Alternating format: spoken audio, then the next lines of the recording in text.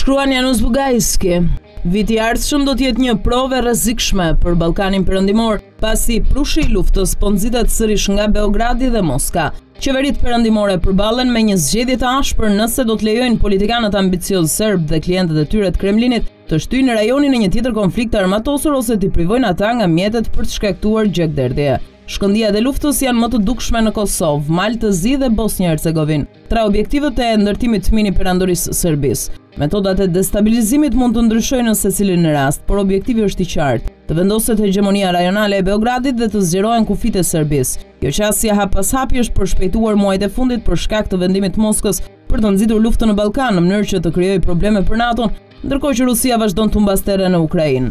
Moska nuk ka nevojë të angazhojë ushtrinë e saj në Ballkanin Perëndimor sepse Serbia ka aspiratat e veta dhe me dëshirë shërben si përfaqësues. Presidentët Vuçiç dhe Putin kanë një marrëdhënie simbiotike ku Putin e ndihmon Vuçiçin Të shtyjë për një Serbi të zgjeruar ndërsa Vuçiç ndihmon Putinin të depërtojë në rajon dhe të krijojë probleme për institucionet perëndimore. Paqëndrueshmëria në Ballkan i mundëson Moskës të pretendojë se BE dhe NATO nuk mund të zgjidhin apo parandalojnë konfliktet. Për Kremlinin minimi i Ballkanit është një operacion me kosto të ulët. Moska i ofron Beogradit dhe Banjalukës mbështetje diplomatike dhe financiare së bashku me armë, propagandë, dezinformata, provokatorë dhe banda të armatosura.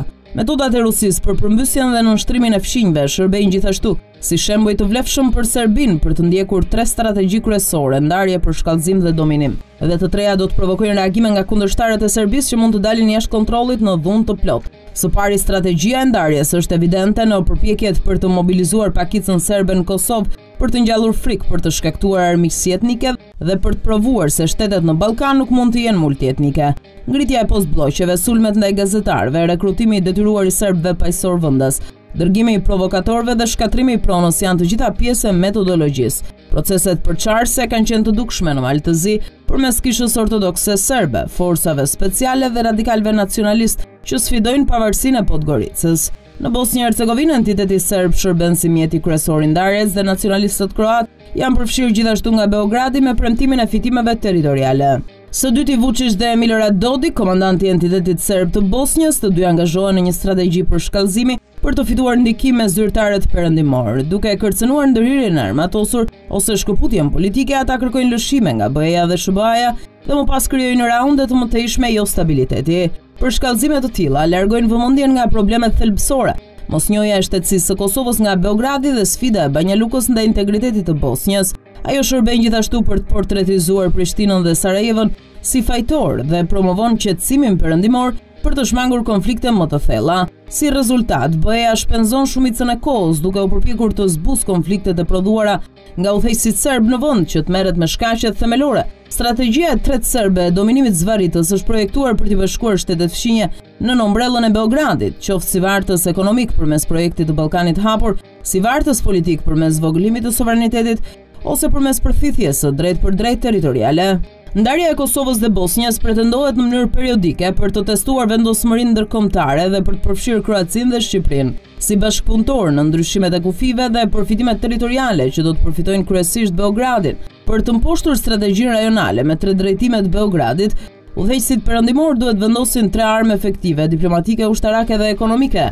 Në frontin diplomatik Kosova, Bosnja dhe Mali i Zi nuk duhet të shtyhen për t'i dhënë terren etnonacionalizmit. Një shembull parësor është presioni ndaj Prishtinës për të garantuar ndarjen territoriale, duke lejuar krijimin e një entiteti serb, të quajtur si një shoqatë komunale, e cila do të imitojë politikën shkatërruese të shtetit të Republikës Srpska në Bosnjë. Formimi i çdo ndarje me bazë etnike është gjithashtu një ftesë për një subversion më të thellë antiperëndimor nga Rusia. Në Mal të Zi, Washingtoni nuk duhet të mbështesë lojërat politike që pretendojnë se janë antikorrupsion dhe pro-europiane, ndërsa përdoren nga forcat e korruptuara antimalazeze dhe pro-ruse për të destabilizuar shtetin. Ajo gjithashtu duhet të sfidojë çdo manipulim elektoral në Bosnjë që forcon mbytjen e partive etnonacionaliste.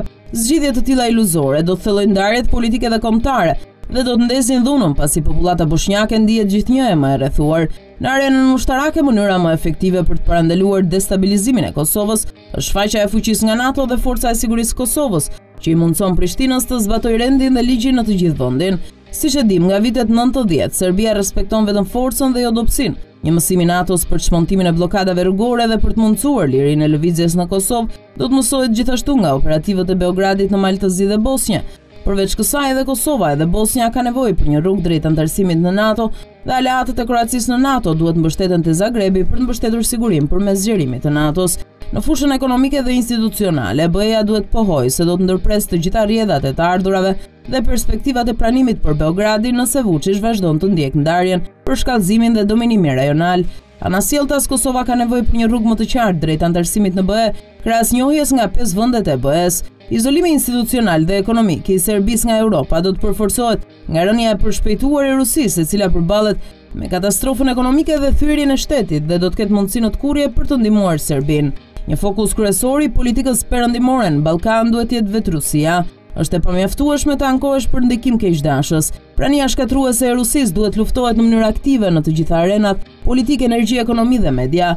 Një pikënisje e mirë do të ishte që NATO të kërkonte që posta e inteligjencës ruse në Nish e veshur si një qendër humanitare, të mbyllet ose Beogradi do të përballet me ndërprerjen e çdo kontakti të dobishëm ushtarak. Duke mundësuar depërtimin e Rusisë në rajon, Vuçiç po bashkëpunon në luftën kundër Ukrainës, duke i dhuruar Moskës një kartë ballkanike në luftën e saj me Perëndimin. Pamfleti është një platformë mediatike analitike që u lind si domosdoshmëri e një tribune pa kompromis, si një zë i fuqishëm në luftën pa ekuivok ndaj krimit dhe korrupsionit politik në Shqipëri.